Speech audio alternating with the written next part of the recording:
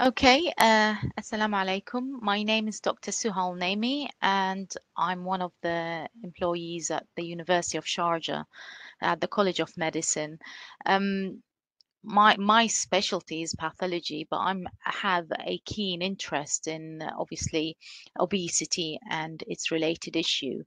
So obviously obesity today is a worldwide epidemic. Thousands of people die each year uh, because of uh, obesity.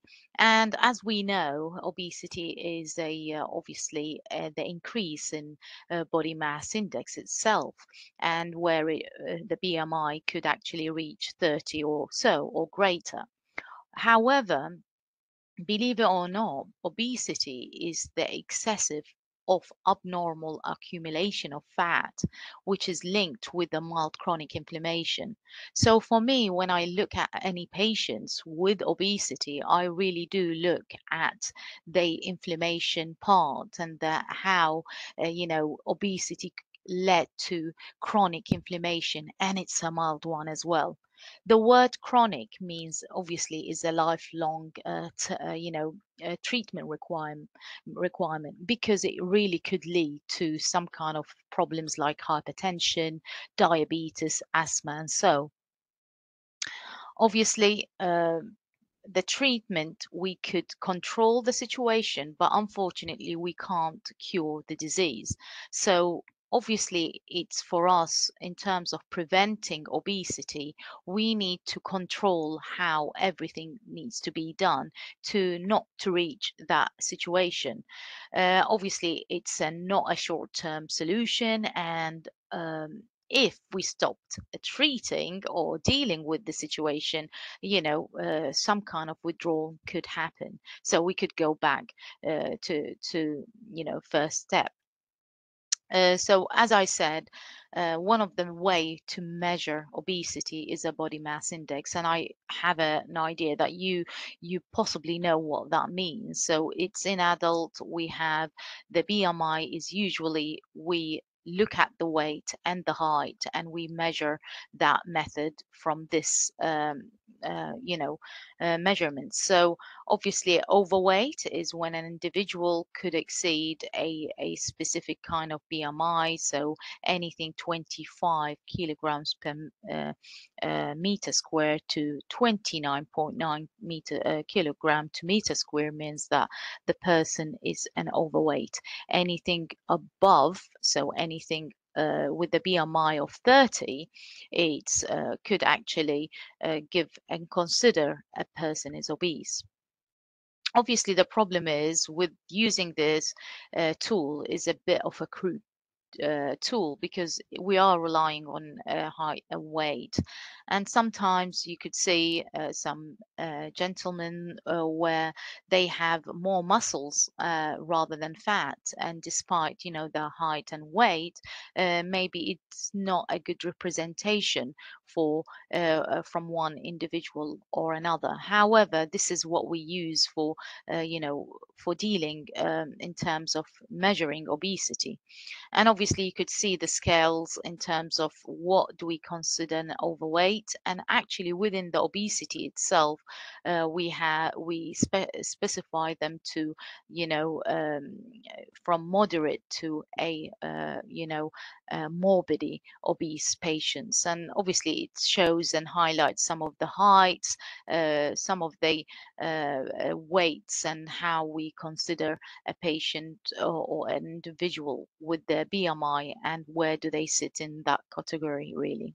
So this is just to highlight, you know, we can we can look at an uh, patients with obesity or overweight through the these BMI, or even a healthy individual as well. Anything below 25, obviously they sit within the healthy thing, and actually anything be below a a specific, you know, 18 or so, that it could be an underweight as well, and an underweight individual uh, could be in a in a in a, a critical situation as well. However, nowadays, and NICE, NICE recommended that despite the use of BMI, we could actually use the waist circum uh, circumference as well uh, to measure, you know, a pe person with overweight and obesity, uh, and to determine, you know, the, the, the health risk. So obviously, uh, for male and women, we could uh, basically consider Sorry, I did not push anything, but it just changed itself. So I would say uh, for uh, men, you know, uh, you know, for um, waist circumference is usually we say 94 centimeters. Uh, you know, that is the desirable that is what we think it's a, a, a person who's less than 94 centimeters or so or 37 inch it's desirable is a healthy individual. However if it's high between 94 to 102 that is basically a person with a high uh, waist circumference and it could give us you know maybe they are in the overweight kind of thing. Very high is anything more than 102 centimeters or more than 40 inch again with the female as well it could um, you know uh, le anything less than 80 centimeters is within the high um, anything between the 80 to 88 uh, centimeters it's high but obviously it gives us uh, that a person is possibly in the overweight kind of situation and anything more than 88 centimeters or more than 34 inches is obviously very high. It could be considered as an obese. Um, obviously, um, over the past years in the United Arab Emirates, there is obviously the prevalence of overweight and obesity, which suggests uh, it has at least doubled uh, you know, from 1989 to 2017. So Emirati population, for example, men, there are 38.5% living with overweight and 32 0.2% living with obesity. However, with women, you have 29.3% living with overweight and 41.8% living with obesity. So it's really increasing, and you could see it's increased the last, you know, uh, uh, 20 years or so. And uh, obviously, that became a, a burden to um, the United Arab Emirates kind of health centers and health services because it, economically it's spending around 6 billion US uh, annually. But what they thought uh, found as well that you know if you have children with people with obese, they will have the chance of 75% of being obese, these children. However, when you have two uh, parents which are more of a lean people, the children will have only 10% to become obese. So you could tell there is some kind of genetic factors related to obesity itself and uh, you could see you know the obesity uh, prevalence is not only in united arab emirates but in arab countries in general. And you could see like apart from as i said in um, uh, emirates and united arab emirates itself 31.7% obesity you could say see you know kuwait it sits in the higher top kind of end uh, like saudi as well and um, you know jordan. But obviously and uh, Qatar. But obviously, you could see, you know, other countries. Uh, again, it's eh, you know exceeding the 30% and so. So that is a study in, uh, was included in around 2,142 adults aged 18 years and uh, older, showing that in in uh, Emirates uh, itself uh, that uh, basically uh, BMI with 30 and more uh, was 17%. Okay, and the higher obesity rates were among women as well. So, you know, that is alarming really in terms of how it's increasing. And it's not only in adults, but even in childhood obesity, it was increasing quickly in United Arab Emirates from 12% of children in in basically 2018 to 17.4% in 2020.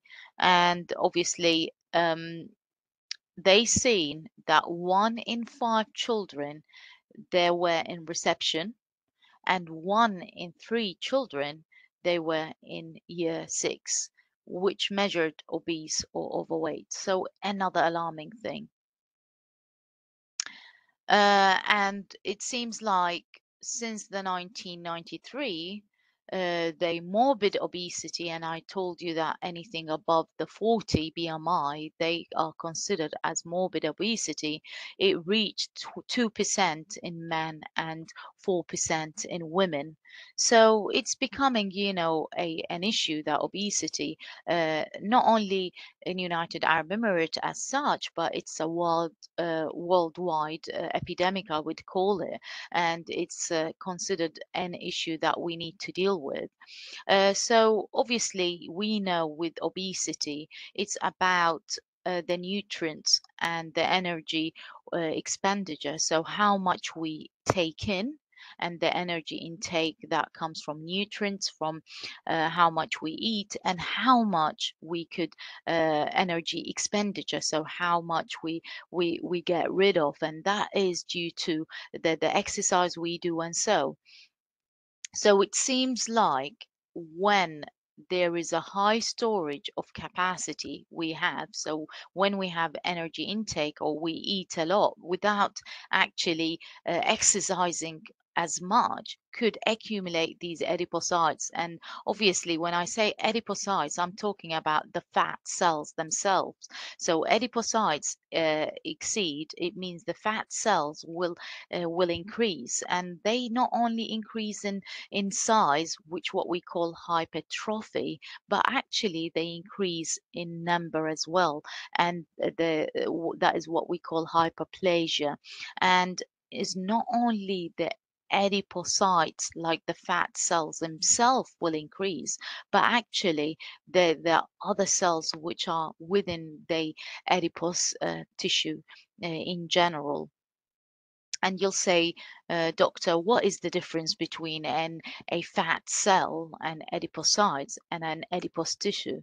So in general, this is the difference. So the adipocytes or the fat cells that include you know the fat cells and how the the fat is accumulated but the tissue in general you will find other type of cells like for example white blood cells and white blood cells like macrophages you know the leukocytes and um, other bits and pieces which they play a big role in making obesity is not only eh, the fat accumulation and the uh, you know the adipocytes themselves what they do but is actually they uh, they uh, they inflammation and the forming uh, these inflammatory markers which combines with obesity through these leukocytes and these white blood cells and these kind of macrophages. So it's that is what happens really obviously there are a lot of patients who comes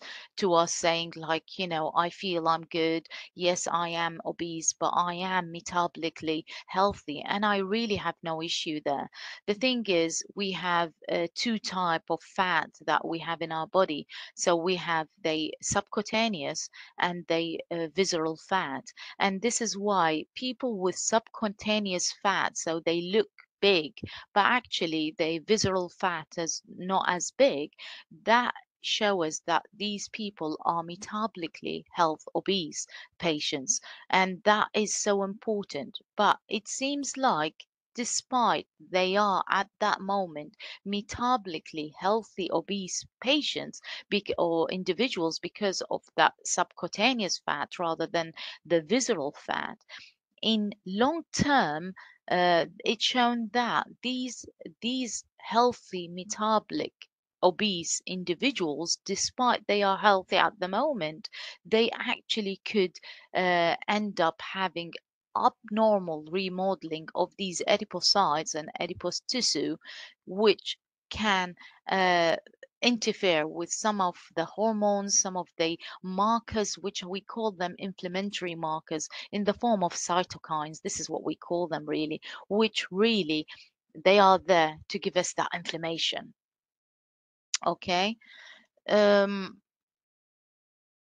so we have, and you know, our fat tissue could be a brown adipose tissue or a white adipose tissue. So uh, I don't know. For you guys, when you look at uh, the, the any individual which is obese, you will appreciate that we have a high level of white adipose tissue. And that white adipose tissue, the, the, the, the you know, the cells are the adipocytes which accumulate the fat within them. However, we have another type of adipose tissue called the brown one. And the brown one is basically there for uh, for when we feel there, you know, uh, the heat or the coldness. So basically, they are thermogenetic kind of fat tissue. So brown adipose tissue are stand for, uh, and they look brown because there is a specific organelles found within these cells called mitochondria. And these mitochondria help in basically browning these adipocytes or these cells. And they actually have the uh, you know, uh, the importance in us feeling the cold in a way and maintaining our temperature without even shivering. So it helps in the thermogenesis, really, in general. So this is really the difference you see. This is the white adipose tissue and you could see how the fat accumulate in one side, shifting the nucleus of the cell in, in one side. However, look at the brown adipocytes. Uh, so these are, it's, it's a fat cell still. And what we see, this is the green thing is the nucleus and you have a lot of mitochondria gathered in there, which is giving it that brownish coloration. And because of that high level of macrophage, uh, sorry, uh, mitochondria, it's actually mitochondria is has a functionality to keep us, um, you know, warm uh, whatever uh, weather we we we exposed to. So, and that is really what what is the browning of adipocytes or the brown of uh, brown adipocytes. But can you see these yellow uh, dots here and there? These yellow dots are they the fat droplets themselves. Okay, so obviously these brown adipocytes or adipose tissue, it was known to to have more uh, available in in in younger kids and babies really. And this is why mums sometimes they put their babies outside uh, and i'm talking about people in a cold uh, co- live in a cold weather. They leave their kids outside or babies outside. They are only 40 40 days or so. And this is why because you they have these brown adipose tissue. And this gives them that thermogenesis so it kim- keeps them warm during uh, you know uh, during this winter time. But what they found actually even an adult they are present so uh, it seems like as we get older the baby get older these brown adipose uh, uh, these brown adipose tissue will decline. And what happens as we get older you know we'll have only specific areas where you have a brown adipose tissue. And they are situated either in the neck in an area near your clavicle, so your collarbone, which we call it subclavicle uh, region. You will find them in basically in uh, the mediastinum, which is here, where your aorta here, and some other uh, renal areas that we call sub suprarenal area.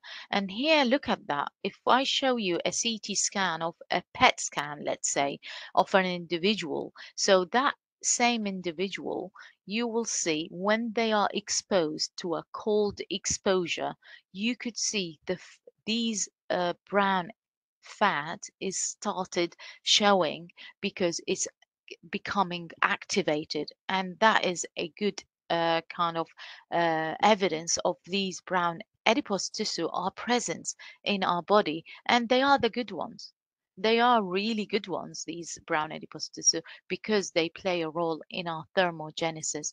And however, look at a, per, a patient with or a person with it, which is an overweight, even if they are exposed to that cold exposure, you will see uh, there is the presence of these brown adipose tissue are much less.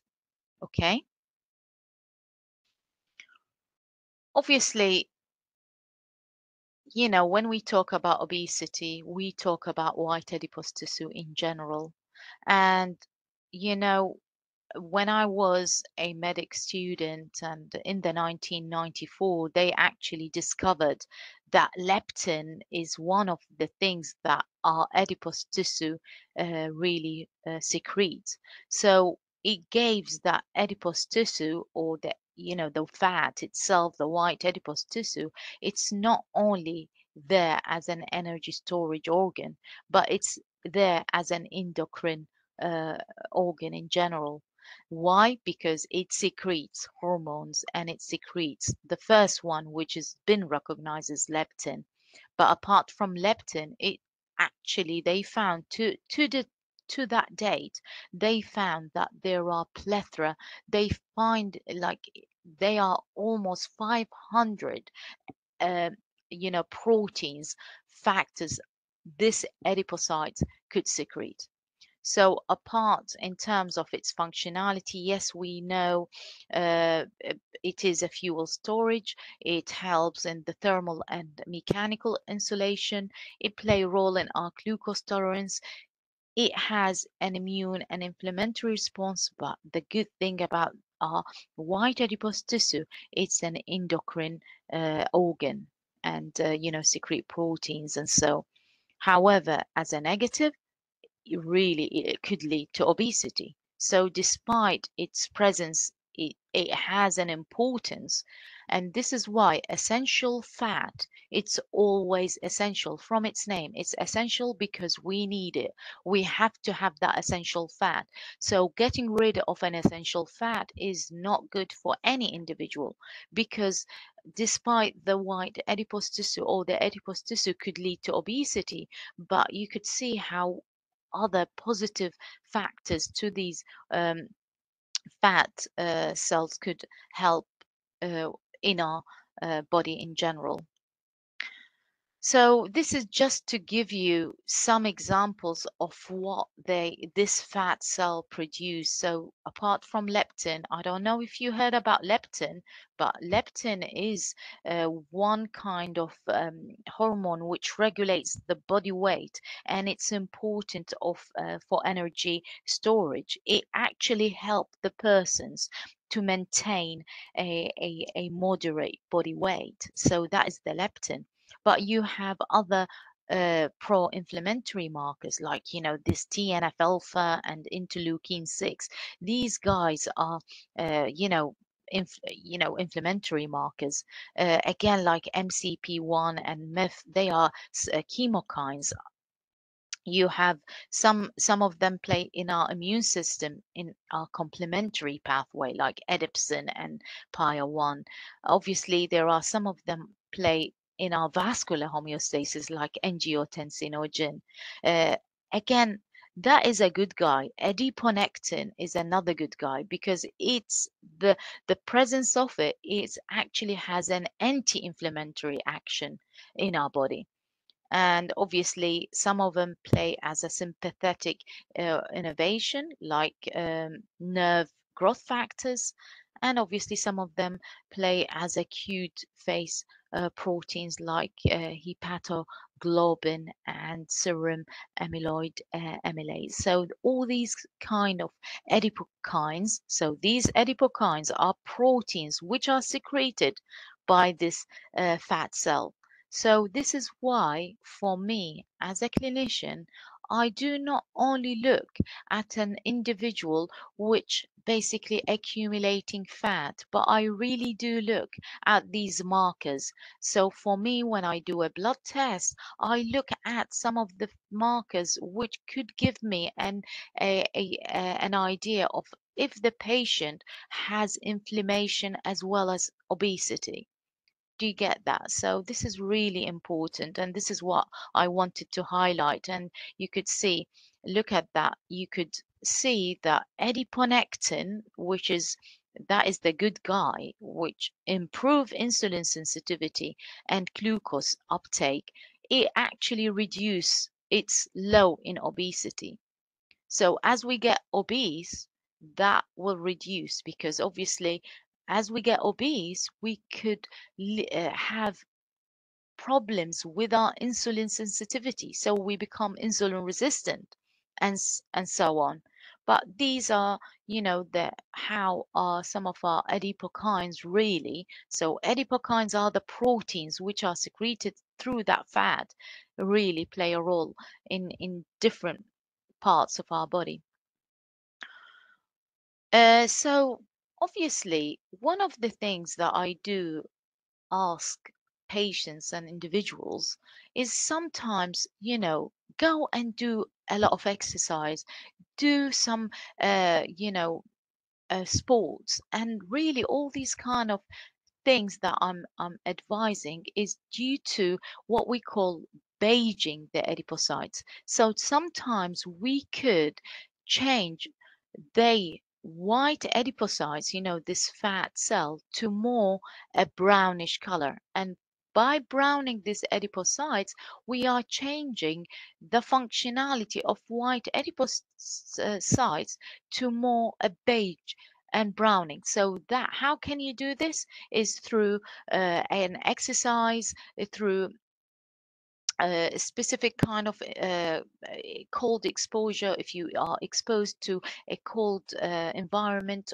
or as I said exercise will lead to the browning and the beiging let's say of our adipocytes okay? So we could by doing some kind of activity could actually reduce that fat, that white fat, and change it to a more brown or beige adipocytes to actually have uh, the functionality of that white uh, uh, fat to change to its beige and to a browning. So it becomes more of a good fat, let's say.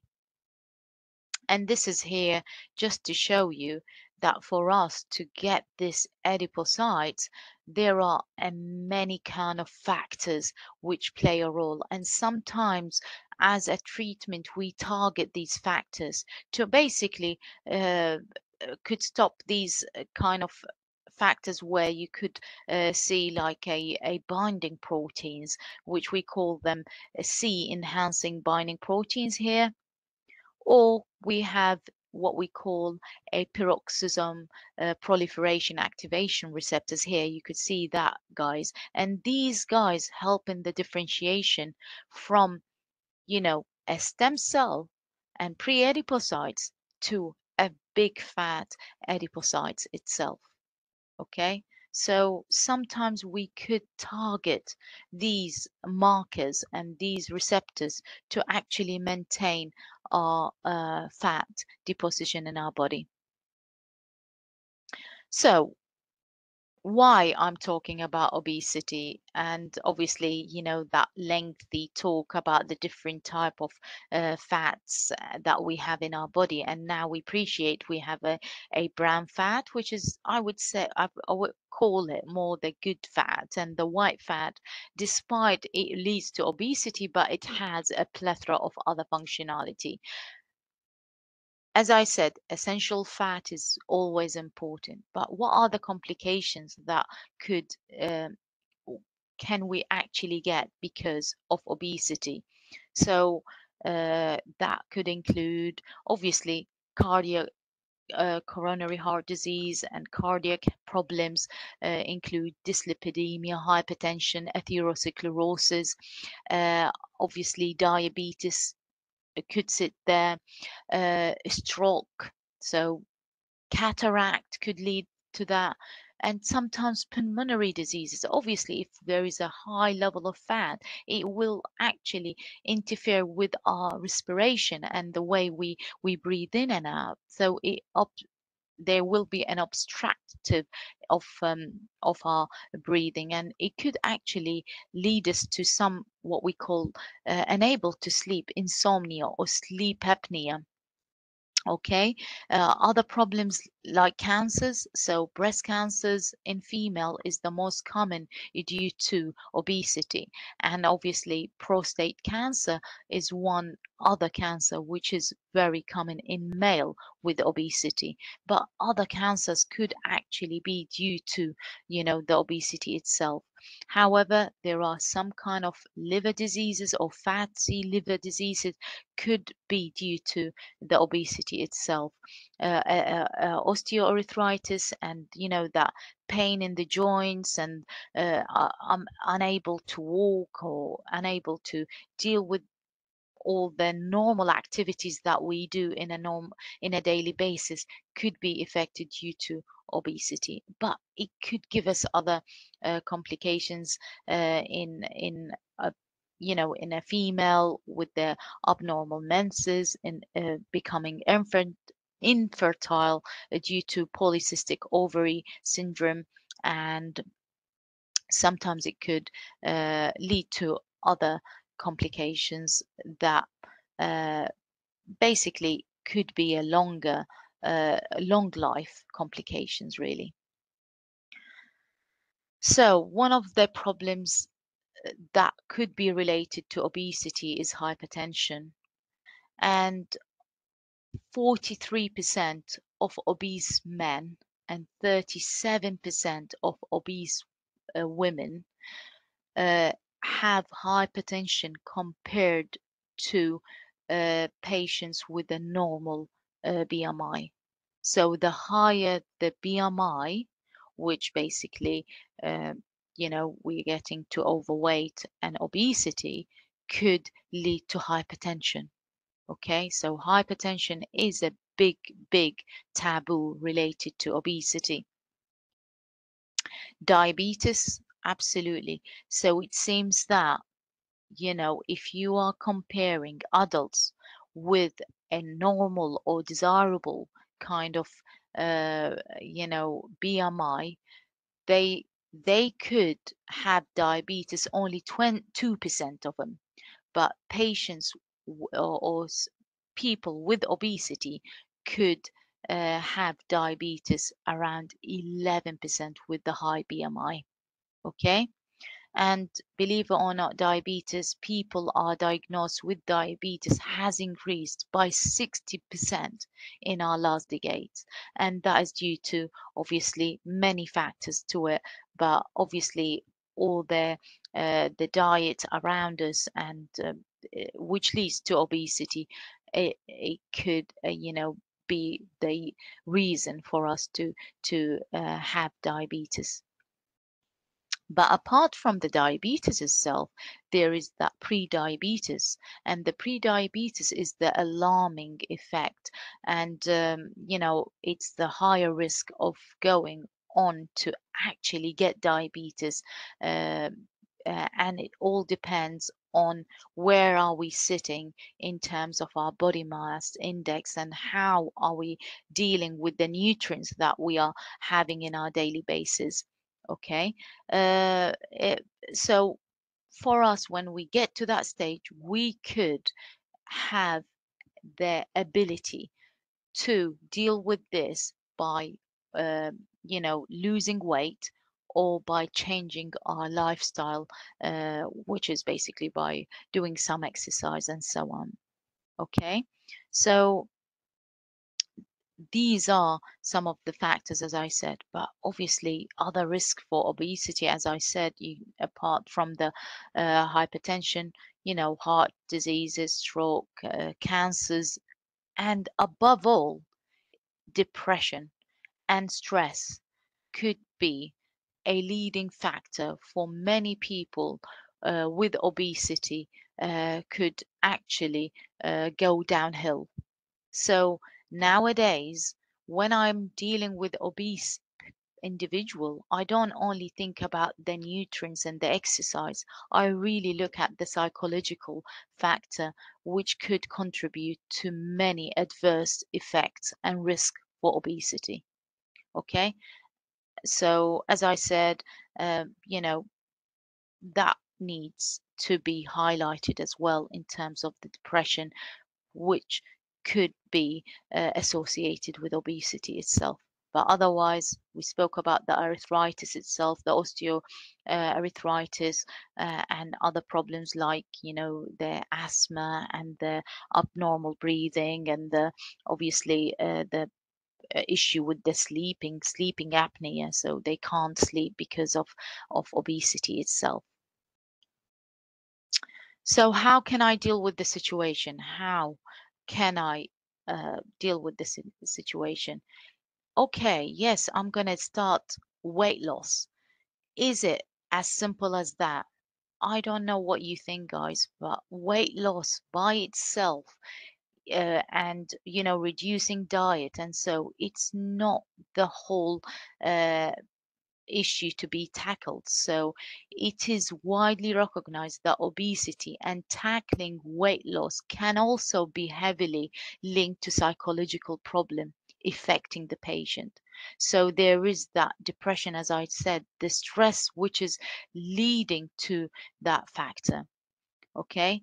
At obviously the clinical practice, they help to support the patient and they could refer them not only for dietetic uh, and nutritionists, but actually to psychologists uh, as well to make sure that they are entwined to tackle the issue itself. Okay. So as we said, yes, diet play a big role and 26% of adults ate the recommended of five or more portion of fruit and vegetables a day and you could see that women uh, were more uh, likely to do so. So you know, if we have women and men uh, in our in our cohort, 27% women and 24% men were uh, taking that five a day uh, portion of fruits and vegetables. And it seems that for sure, uh, poor diet and nutrition are recognized at, um, as a major contributor to our risk factors for ill health and pre uh, kind of mature uh, death for patients with obesity. Okay. So, where do I start? How can I start and what diet do I start? So I don't know if you know the difference in different diets, but there are people who use, uh, you know, uh, paleo uh, diet, which is basically uh, it's considered as oh yeah, I'm gonna uh, eat more fruit, vegetable, meat, fish, eggs, and nuts and seeds. So all these things are part of our paleo uh, diet. So it's uh, it's more related to more proteins, less carbs, and yeah, that could be one of the diets that you, you use. Then we have what we call a Cambridge diet. So the Cambridge diet here you have um, a very low calorie diet. So for for example, people uh, gets four 400 to a 1500 of their calories uh, basically consumed with a specific replacement diet. So around 1,500 of their calorie daily calories is basically replaced with a specific diet, and that could come in a sachets, in a in a bars where the the, the individuals will eat and uh, could lower their diet. There is another diet called the South Beach diet, which actually that emphasized the uh, you know lower car- carbs and more proteins and obviously healthy fat. So this healthy fat include unsaturated fat, which you find it in olive oil, in peanuts, in uh, olives themselves, in avocado, and uh, you know nuts and so. So this is important to to consider like what diet do I go with yeah what diet do I consider to to lose weight and some some of them actually could be a trial and error, but sometimes it's a lengthy process. It's not a a a day kind of thing situation where you have that diet and you think uh, things is going to change. And I always like you to consider the portion size in a plate is the size matter and the portion matters as well. Because obviously if i'm living in the U- uk compared to living in the usa or living in united arab emirates the portion size is interchangeable and it's different i've seen massive portions in in in america compared to uh, you know different uh, countries and this is so important to maintain this as well. Obviously sometimes uh, apart from the diet you could you know join uh, some of the uh, uh, slimming group and that slimming group i don't know uh, we what we call it weight watchers or you know slimming world which are so important to to maintain what diet and it's basically a con um, a diet which is optimized for uh, and customized for each individual patient going through what they eat in a in a daily basis and uh, what can we basically shift or uh, change to get the right proper calories for these individuals okay uh, and obviously, apart from that, sometimes healthcare assistants are there to to support the patient through that weight uh, loss uh, journey. Because I do call it a journey. Is not only one theme to it, and it's not only the diet to it, but really, it's really the the activity and enhancing the activity. Uh, you know, 26% of our adults in our life they are classified as inactive, and obviously fewer than 30 minutes physical activity uh, you know a week could uh, it's not enough you know? So you need to consider how can i actually enhance the activity? So less active and less fit uh, fit people have a greater risk of developing a high blood pressure and obviously it seems that physical activity can reduce the risk of type 2 diabetes. And actually studies has shown that physically active people are less likely to have coronary heart disease uh, than those which are inactive uh, individuals. So what kind of exercise do i do? I am a great believer of people who could actually walk, simply walk. I don't know if you do walking, but in here, in this country now, nowadays, the weather is amazing. It's really something, uh, you know, where you could actually start walking uh, and simply walk. You know, give yourself half an hour walk a day. Uh, that will definitely and a study last year has shown it will reduce the the uh, adverse effect in terms of diabetes and hypertension okay? Sometimes you could actually brisk 10 minutes daily walk you know that that quick walk not that you know a simple walk. So you're walking but it's more brisk uh, walking and that could benefit towards um, you know your exercise of uh, 150 minutes a week of exercise so if we divide 150 by 7 uh, you know because obviously in our week we have uh, seven days. Uh, let me make the calculation. So that tells you all you need to do is 21 minutes a day in that seven uh, days of our week. Okay. Sometimes you know more walking could be boring. Sometimes it's good good to join that local uh, kind of uh, healthy walks that happens within your community within your uh, within your uh, uh, basically uh, I don't know area that you live in, and I'm I'm sure now I heard in Dubai they are doing these kind of uh, activity uh, kind of uh, uh, thing that is happening in United Arab Emirates, which is starting from the mid of November until the mid of December, which is something one could actually uh, take part in.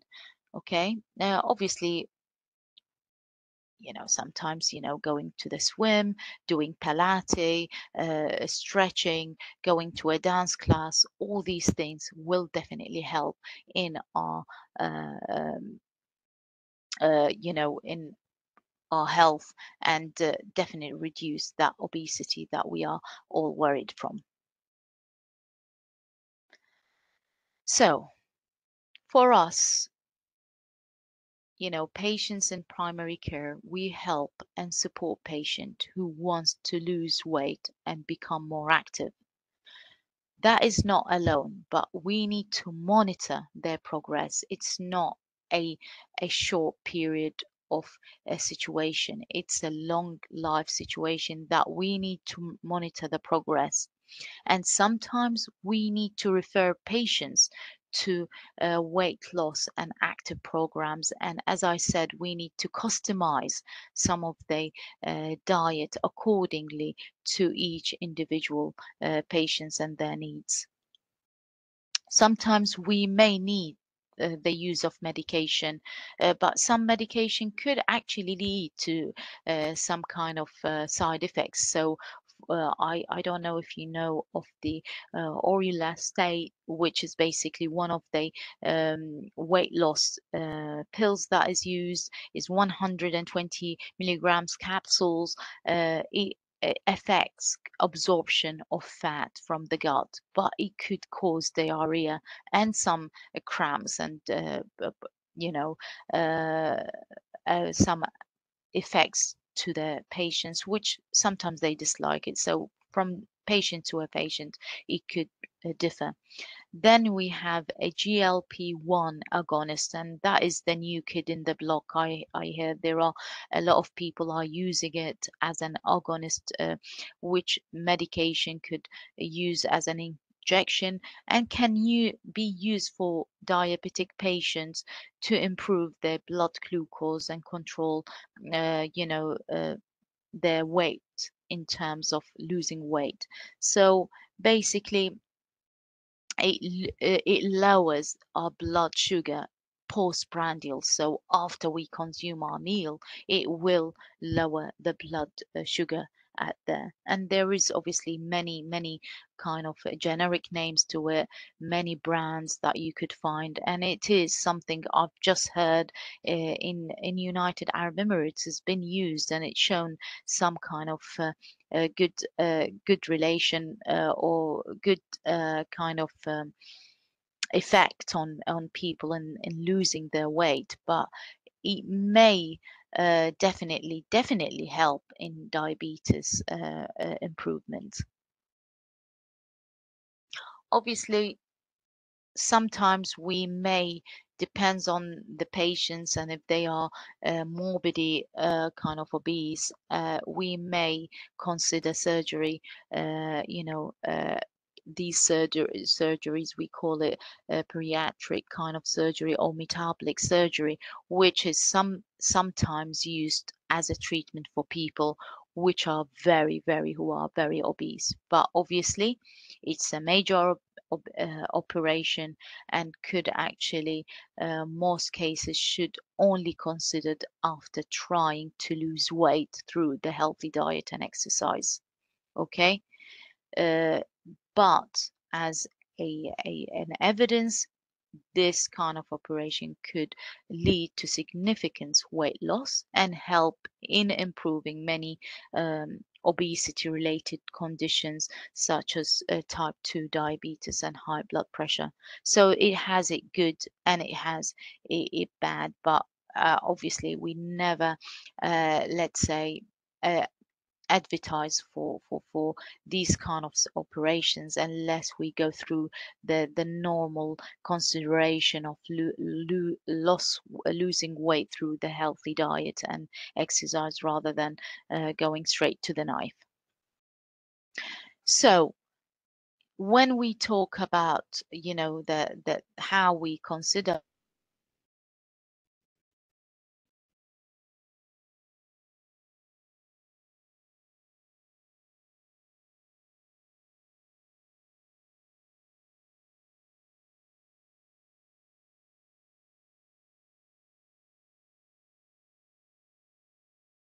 just and you have the physicians which is the gps as well and you have the sport trainers as well. All these all these guys will work together to maintain the the you know they they patient's well-being.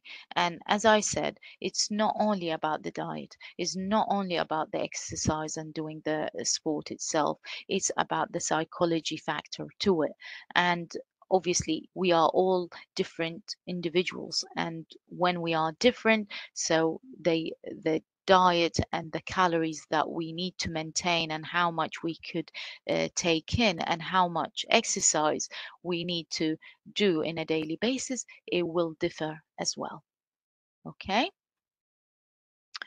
So this is just to show you really uh, what we use in terms of thinking about assessing uh, individuals and we do an assessment appointment for an individual then we uh, consider uh, you know a specialist advice from a nutritionist or dietetic. Then we have a psychological uh, therapy which um, help there in in maintaining individual group. There is obviously uh, the healthy training to support uh, the motivation and self-esteem really. And obviously there is the exercise professionals which assess uh, within their on-site either gym or small groups or so. And obviously as we said we need to maintain and uh, create programs for individual uh, patients or individual person according to how much they need exercise within uh, 12 weeks and we need to monitor that.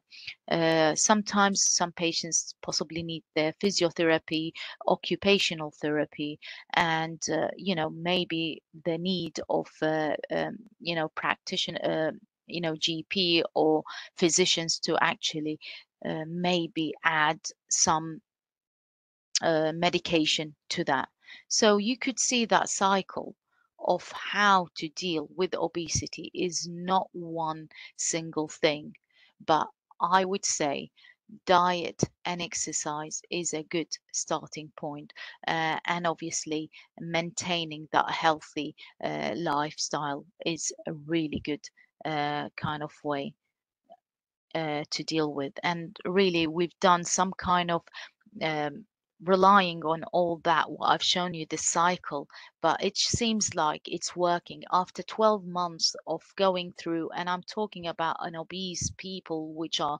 uh, morbidly obese pa- patients so their weight has reduced 11 kilos okay? Their body mass index re- reduced from 43 to 35 which is amazing and their blood pressure has reduced as well obviously it seems with patients like that they have the ability to regain this kind of weight if they are not careful and stick into their regime. And it seems that after two to four years they could actually go back to uh, you know to their uh, original weight uh, which is you know uh, could be um, uh, you know not good results for any individual. So how do we do that? By increasing exercise by increasing the quality of life uh, improving in di- uh, diabetes and obviously we have to think about that five a day as i said five a day five kind of elements including uh, uh, fruits and vegetables will help for sure. This is to tell you that yes now, uh, fat itself could be a bad thing, but actually nowadays they are changing uh, the uh, the adipocytes to its original, which is a, a stem cell. So they are finding now cell-based therapy is the way to treat uh, obesity and other complications and other risk factors. And this is what we call adipose derived mesenchymal stem cells. And they are uh, seen, they have a advantages to minimize any immunogenicity and they highly immunoregulation for uh, many clinical uh, issues. So yes, apart from you know the diet and uh, the surgery that we spoke about and the exercise, there is that cell uh, therapy, and it seems like these kind of uh, potential therapeutic application for adipose. Uh, uh, sorry, derived stem cells could help in diabetes, in obesity itself, in um, you know uh, liver diseases, which is you know not uh, non-fatty uh, liver diseases, uh, vascular disorders like hypertension, atherosclerosis, insulin resistance, and even infertility. But it's still early days in that, but it is giving us a good a good kind of um, um, uh, potential in terms of its therapeutic agents. So, as a conclusion, we'll go back. Obesity is a complex chronic disease with severe co- uh, causes that lead to excessive body fat and sometimes poor health. Body fat itself, it's not a disease, but the body has too much extra fat, which could change the functionality of this cells. And as I told you, I consider it as a mild chronic inflammation, and this is alarming for me.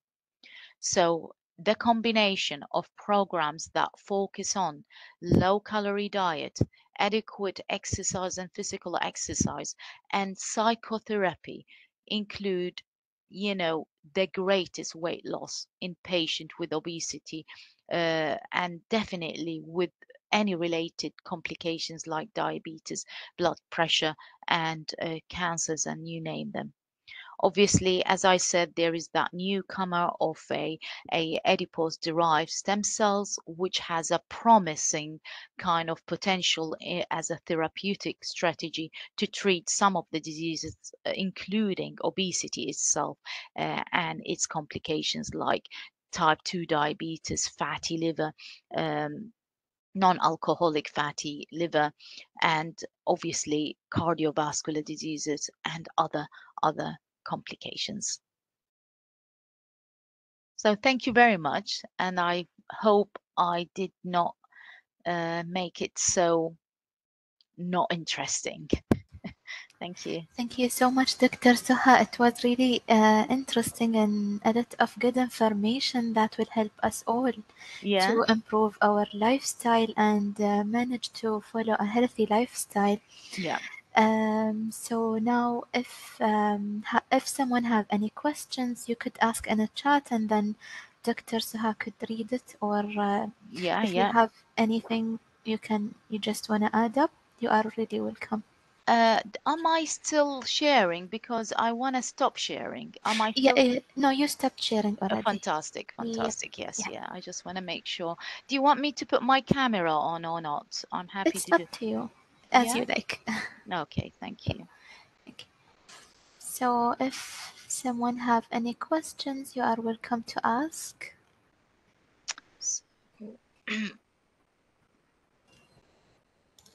So, is there any? Thank you, doctor. Thank you. Yeah, you could Uh, ask in yeah. Arabic, and hopefully, I'll get I'll get there. Yes, yes. You could you could use the microphone if you like. Yes. Uh, نهى um, I بفتح لك المايك you can ask.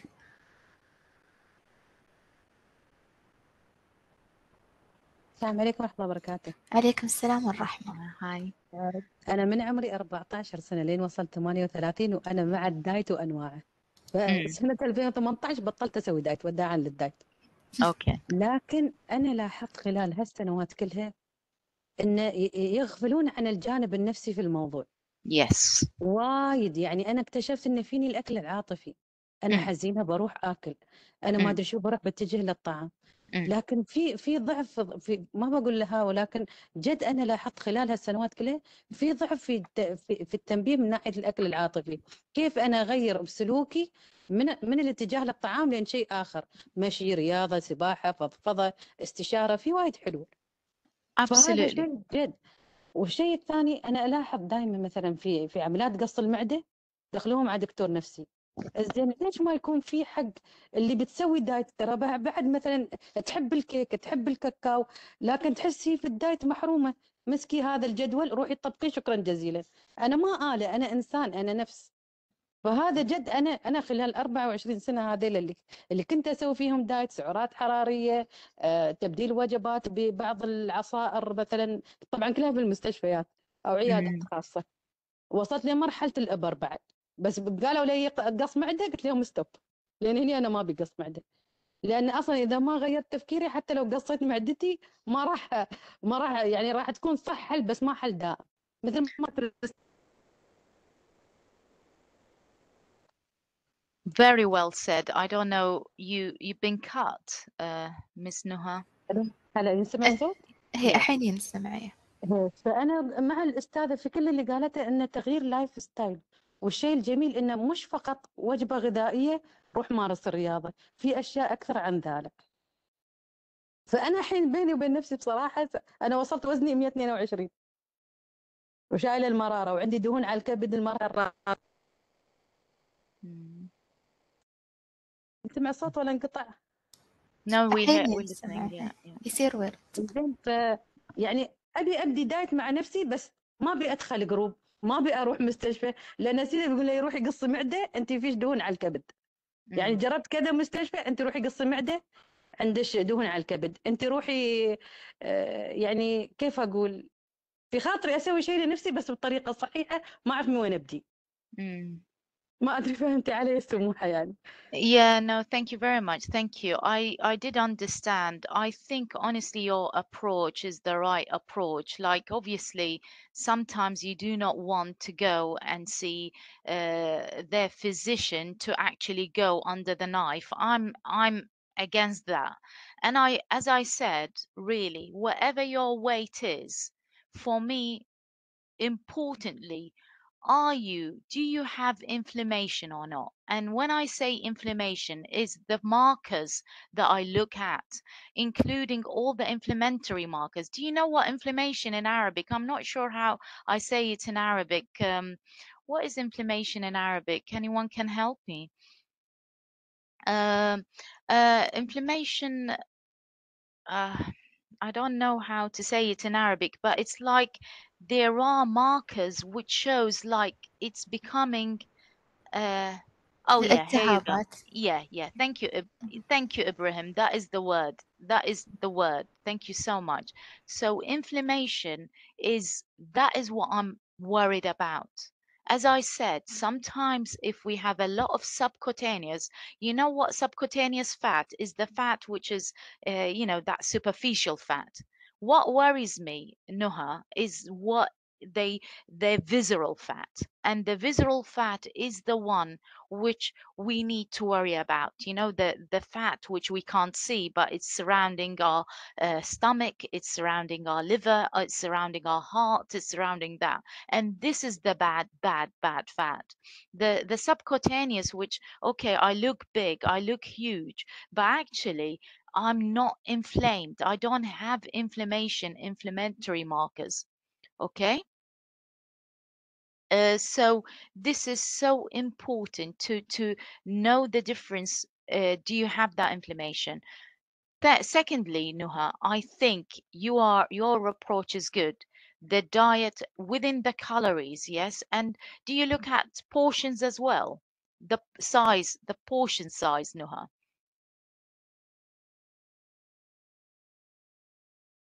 يا استاذه بس ممكن اخر اخر كلمه قلتيها ما انتبهت ما سمعت لها I said, do you do you have do you look at uh, the size portion, the portion of the the size of your portion?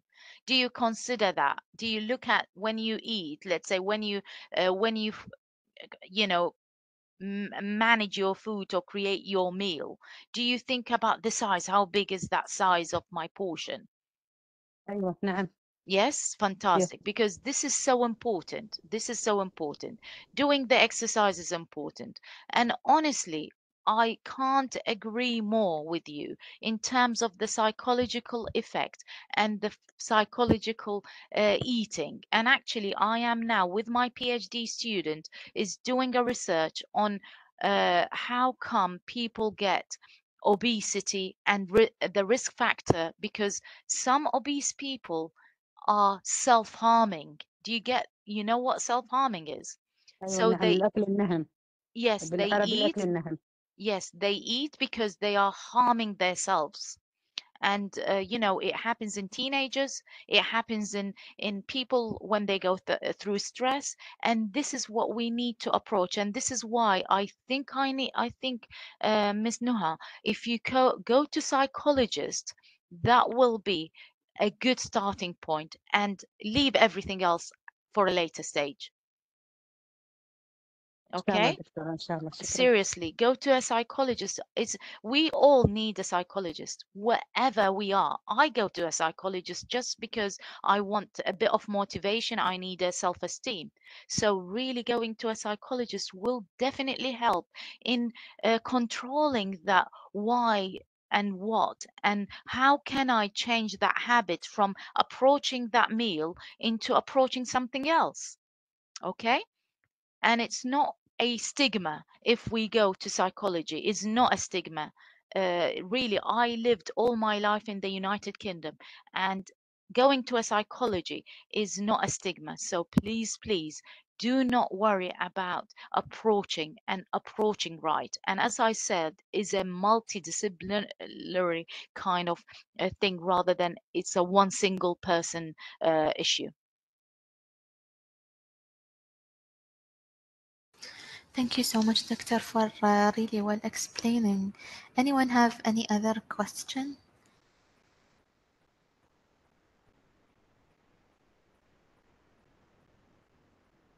oh thank you welcome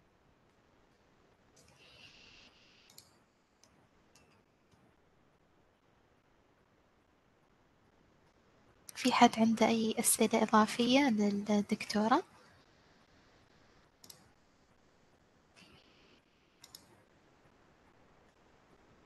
And I, I, I need to thank a lot of people here from Shams and Ibrahim and Ibrahim.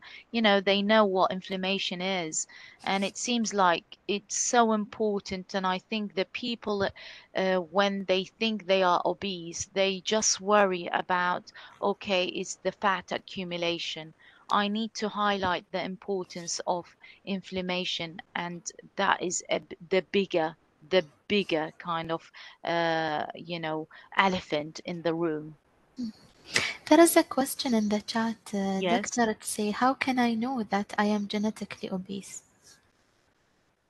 oh yes. So how i'm genetically there is obviously i don't know if you know but there is like these kind of new techniques that it could give you a specific gene and the gene we call ob ob gene so we could detect that gene this specific ob OB gene, okay? And that gives us that am I genetically obese or not? So you could look uh, at your genetic uh, kind of picture. And that is done through DNA and RNA, uh, you know, gene expression. And I think nowadays, uh, I think in United Arab Emirates is available nowadays, or maybe a kit that you could buy uh, uh, through online i think but it gives you that you know it's not only your ancestors but it will give you if you have any genetic factors and that gene called ob ob gene. So you can you can through a blood test uh, looking at dna uh, sampling Okay, blood test, or even sometimes, even if you don't want it invasive, you could actually get it from your saliva. It's a DNA. Do you get that?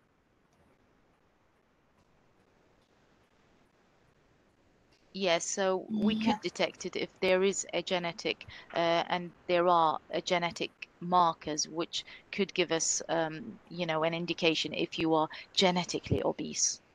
And I think also, Doctor, it's used for uh, to detect all all genetic uh, diseases like uh, diabetes and other kind of diseases. And actually, it could t- give us an indication of our future. You Mhm. know eh, maybe in 10 years time i could uh, develop a, a problem or an issue related. It can it can. So these are uh, you know good ideas but i'm not sure how expensive they are here and how available are they. Mhm. um, but this is part of what we call it uh, pre- precision uh, medicine precision medicine which is play a big role in our genetic factors and so and it's definitely definitely measurable measurable.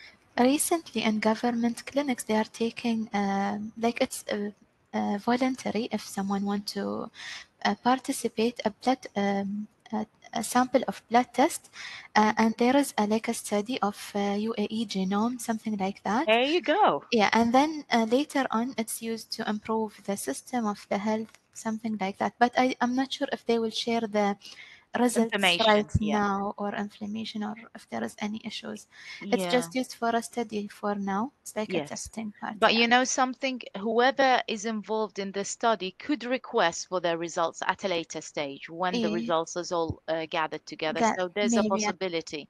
But I think uh, you know there are some kind of clinics which Mhm. they they are specialized in these genetics uh, mapping and uh, you know cross. Uh, absolutely yeah, yeah, yeah. exactly Mhm. uh, i think there is no more questions and we are out of time Oh no, no, And uh. I would like to thank you again, uh, Dr. Suha, for interesting session, and Oh, thank, thank you you. for all of us for attending. Uh, I linked the evaluation link in the chat, so if you can fill it up, uh, so you can get your certificates as soon as possible. Uh, and thank you again for everyone, and thank you, Doctor, for your time. Uh, do I need to fill that evaluation as well, or no Uh, need? no, Doctor, you will yeah, because you know that will Yeah. be bias, isn't it? Y- yeah, yeah, absolutely. Okay, thank you so Okay. much and lovely Thank you to so meet you all and all the best. And if you need actually to contact me, please you you just Google my name and you will find me as part of University of Sharjah email. So please don't hesitate to email me if you like. Thank you so much for your time. Thank you so much, doctor. Yeah, cheers. Bye bye. Bye. See you.